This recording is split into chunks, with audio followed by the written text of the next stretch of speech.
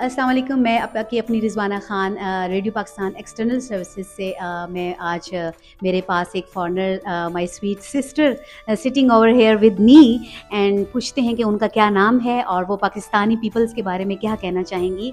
Pakistani dresses Pakistani foods Pakistani Pakistani historical place so let's see hello Hi, how are you I'm fine, Alhamdulillah.